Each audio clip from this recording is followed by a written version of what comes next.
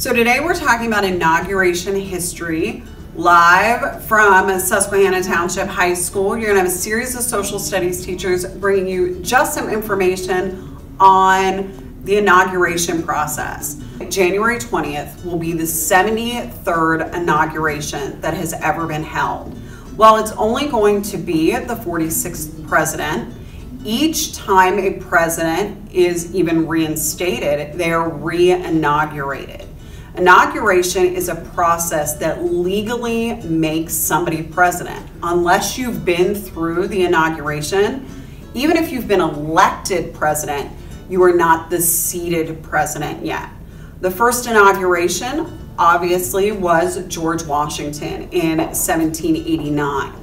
Now, when he was inaugurated, it was actually later in the spring.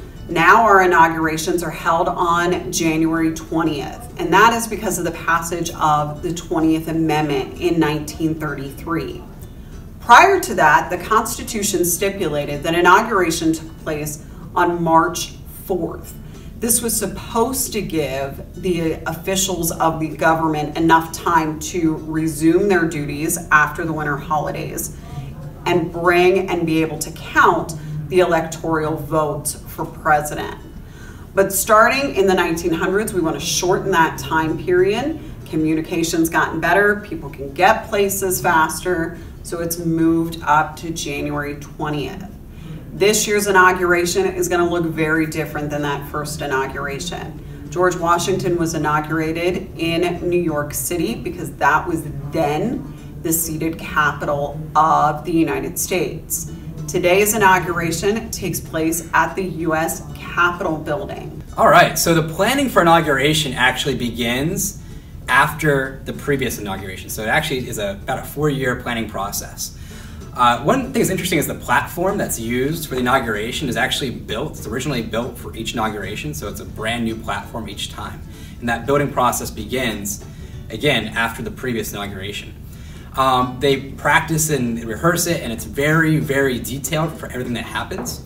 And that transition process that day is a very uh, meticulous process that takes place. In fact, the movers have about five hours or so to get the new president's, uh, basically all their stuff moved into the White House over that time period.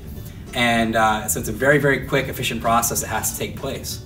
The president, the incoming president, if it's a new administration, has to appoint 4,000 new officials to the administration to run the new government. And uh, of those 4,000 officials, 1,200 of them have to be confirmed by the Senate. So there's a lot of things to do as things get started right away. Um, also, in the inauguration process, uh, there is after well, after the inauguration is held that night, there is an inauguration ball. And it's a big fancy dance. It's actually uh, basically organized by the incoming president's inauguration committee, and it's a, just a really big, big event. Now this year might be a little bit different with COVID-19, but traditionally it's a very large event. And in fact, Bill Clinton had the most, he actually had multiple balls. He had um, several events held over the next few days. He had a total of 14. Uh, Woodrow Wilson, on the other hand, did not win any. So it can really vary quite a bit from president to president. The inauguration and the inaugural address are meant to set the tone for the presidential term. First, Andrew Jackson had what's called an open house policy following Thomas Jefferson's kind of precedents that he set.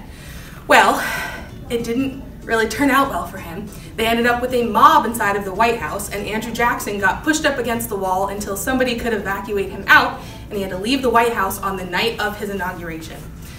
At Ulysses S. Grant's inauguration, it was so cold and windy that the champagne that they had brought in for the party and live canaries froze.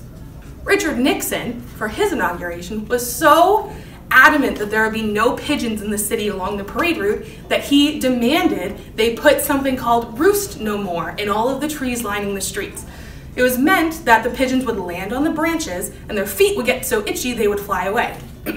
what happened was the birds ate the roost no more, and instead of having no pigeons in the cities, instead the parade went by with pigeon bodies littering the sidewalks. Also, there's blueberry jelly bean. Blueberry jelly beans, people. They didn't exist until Ronald Reagan's inauguration. When he had been governor of California, he was trying to quit smoking and instead picked up the habit of eating jelly beans. Blueberry is one of his favorite flavors, and they wanted to honor that at his inauguration, so they wanted to have red, white, and blue jelly beans. And here we are with the blueberry jelly belly. It is customary that the President of the United States attend the inaugural address of the incoming president. However, not so long ago, Donald Trump made a statement via Twitter that he will not be attending President Joe Biden's inaugural address. Shocking. However, this is not the first time in history this occurred. Donald Trump will be the fifth president of the United States to not attend the next inaugural address, but he is the first in 152 years. The first president of the United States to not attend his successor's address was the second president of the United States, John Adams. John Adams did not attend the inaugural address of Thomas Jefferson. We're not really sure why. However, he decided to disappear from the White House at 4 a.m. on the morning of Thomas Jefferson's inauguration. Now, the saying goes, the apple doesn't far, fall too far from the tree, and that is the case because John Adams' son, Quincy Adams, was also a president who did not attend his successor's inauguration. He did not attend Andrew Jackson's inaugural address. Martin Van Buren was the third president who did not attend his successor's inaugural address, and that was the address of William Henry Harrison. And this one remains a historical puzzle. Now, the last president, 152 years ago, to not attend his successor's address was Andrew Johnson. And this comes at a very political time in history, to say the least, very similar to what we are experiencing now. He did not attend the address of Ulysses S. Grant. And they had a lot of beef with each other. They didn't like each other. Andrew Jackson was called a lot of names by Ulysses S. Grant, and there's a whole story involved that you should research on your own because I think you'd find some enjoyment out of it.